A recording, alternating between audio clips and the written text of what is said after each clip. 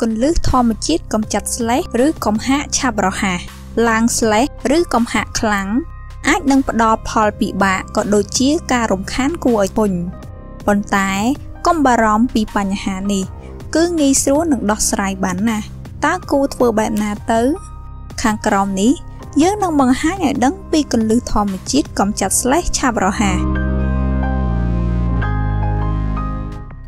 1ទឹកអំបិល អ្វីដែលអ្នកត្រូវធ្វើគឺគ្រាន់តែលាយអំបិលមួយស្លាបព្រាកាហ្វេក្នុងទឹកក្តៅអ៊ុនៗមួយកែវកូរឲ្យសព្វសឹមខ្ពុះមាត់ជាមួយទឹកល្បាយនេះ អនុវត្តឲ្យបាន2ទៅ4ដងក្នុងមួយសប្តាហ៍2ក្រូចឆ្មានិងទឹកឃ្មុំ អ្វីដែលអ្នកត្រូវធ្វើគឺគ្រាន់តែលាយទឹកឃ្មុំមួយស្លាបព្រាបាយជាមួយនឹងទឹកក្រូចឆ្មាស្រស់មួយស្លាបព្រាបាយក្នុងទឹកក្តៅមួយកែវ កូរឲ្យសព្វសឹមទទួលទានតាន់ក្តៅអ៊ុនអ៊ុនចូលព្យាយាមទទួលទានឲ្យបាន3ដងក្នុងមួយថ្ងៃ រហូតដល់ស្រឡះបំពង់ក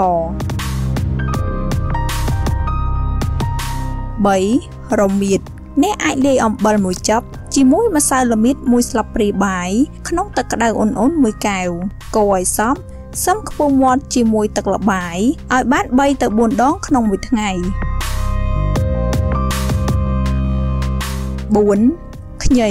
អ្វីដែលអ្នកត្រូវធ្វើ គឺហាន់ខ្ញីជាចំណិតចំណិត បន្ទាប់មកដួសខ្ញីដែលហាន់រួចមួយស្លាបព្រាបាយដាក់ចូលទៅក្នុងទឹកក្តៅមួយពែងឆុងសម្រាប់រយៈពេលពី5ទៅ7នាទីសឹមត្រង់កាក់ចេញអ្នកអាចបន្ថែមទឹកឃ្មុំក្នុងល្បាយរួចក្រេបទទួលទានពេញមួយថ្ងៃ